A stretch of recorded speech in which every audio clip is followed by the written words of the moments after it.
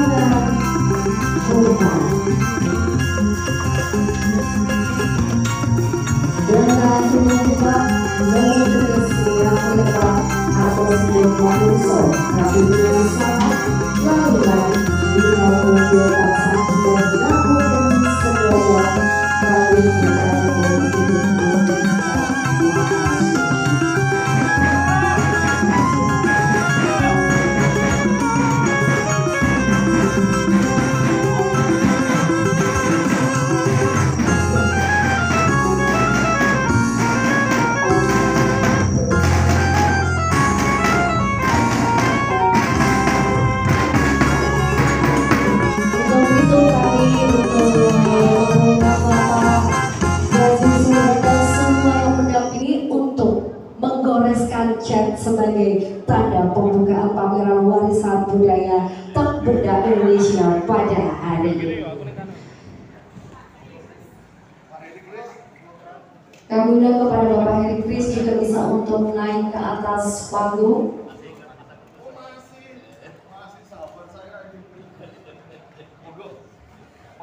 nanti dilanjutkan DPR.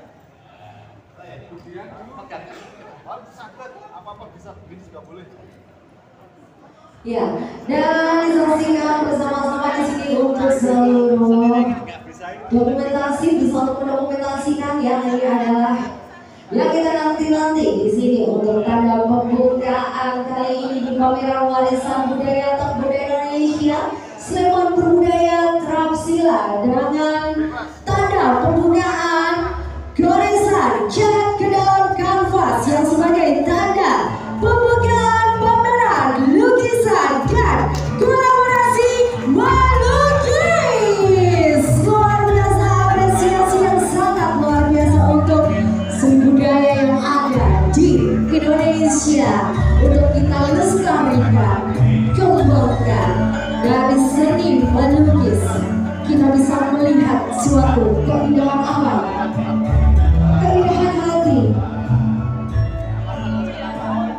dan juga keindahan setiap yang kita rasakan.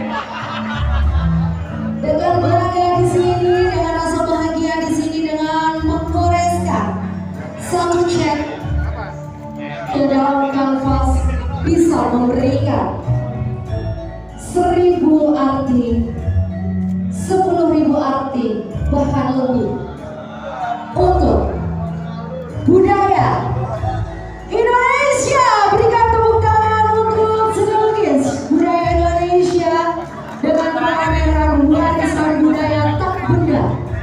Indonesia dengan Sleman berbudaya Trapsila Terbayatan Prasaja Sembada Welas Asli.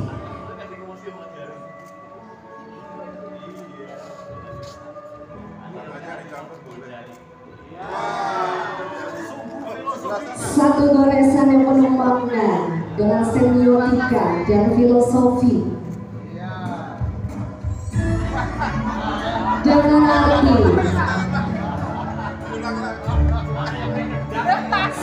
seperti beraneka ragam macam budaya bineka tunggal ika yang perlu dilestarikan sampai dengan ke anak, cucu, cici kita. Untuk itu bisa untuk berfoto bersama Bapak Ibu sekalian untuk diambil dokumentasinya bersama coretan chat.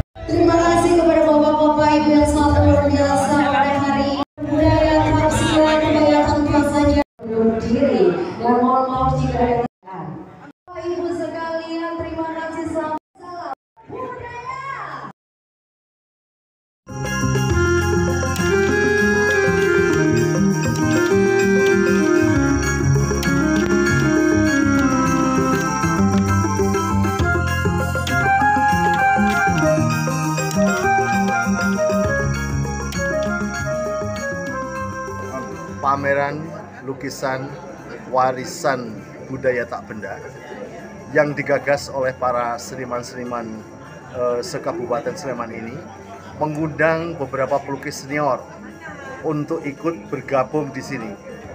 Ini untuk menunjukkan bahwa Sleman ini juga ternyata mempunyai potensi budaya seni rupa, dan seni tradisi yang kuat sekali.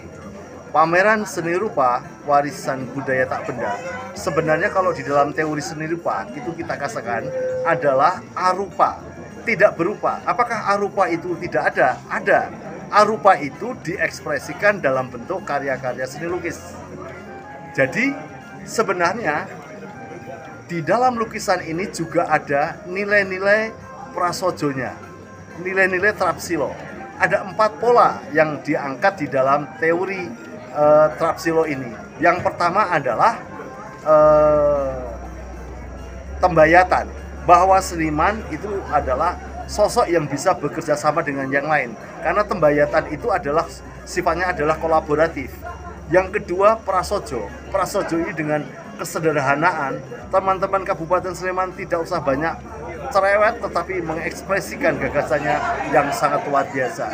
Yang ketiga adalah uh, Prasojo kemudian Sembodo Sembodo itu konsisten jadi teman-teman Kabupaten Sleman para senimannya adalah konsisten terus berkarya dengan melihat orang lain secara welas asih yang disebut kita toleransi. Jadi pameran-pameran ini adalah mengangkat uh, piwulang dan piwuling dalam bahasa Jawa, dalam budaya Jawa yang diekspresikan, yang dipresentasikan dalam bentuk karya seni rupa. Karya seni rupa ini banyak sekali idenya, ada yang patung, ada yang seni instalasi, dan ini didukung oleh tidak hanya para seniman-seniman biasa, termasuk di dalamnya ada Profesor Dwi Marianto, seorang tokoh yang luar biasa juga ikut pameran dalam hal ini.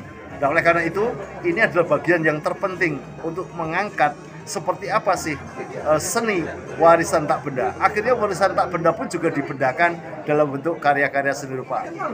Silakan untuk bisa nonton karena kali ini adalah pameran yang sangat besar di Kabupaten Sleman.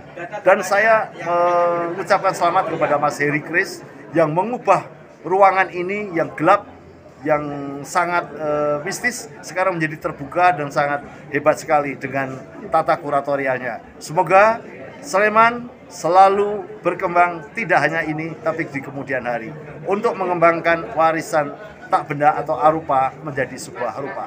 Ya, Mbak Nur karyanya bagus banget. Itu maksudnya apa Mbak?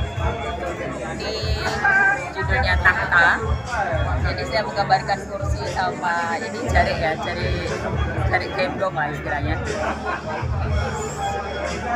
Dalam ini konsep ini saya mencoba menceritakan tentang situasi sekarang sebenarnya situasi sekarang yang lagi rame di menjelang menjelang politikan jadi ingin menyampaikan aja bahwa sebuah pesan aja pesan mungkin gambaran aja dari apa yang ingin saya gambarkan kursi itu sebuah simbol dari tahta dan jari ini jari gendong itu simbol kayak simbol sebuah kayak bahwa seorang pemimpin itu harus bisa ngomong harus bisa ngayomi seperti itu. Ada dua ada kalau memang narasinya tergantung yang penikmat sebenarnya melihat sebenarnya bisa narasi tercapai kalau tahta seseorang yang sudah duduk di tahta kadang dia melupakan tanggung jawabnya sebagai seorang orang orang tua. Kadang anak-anaknya mungkin lebih harus diperhatikan juga seperti itu. Jadi tergantung yang menikmati saja. Uh, ini saya bercerita tentang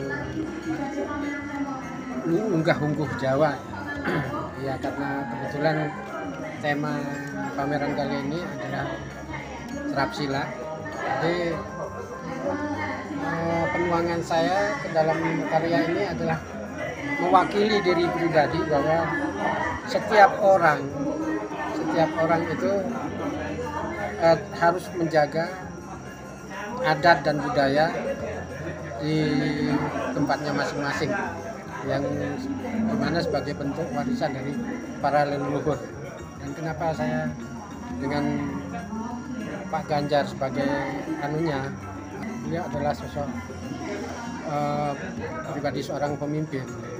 Nah, ya, untuk pengaplikasiannya ke diri masing pribadi. Bahwa tiap pribadi itu apa namanya uh,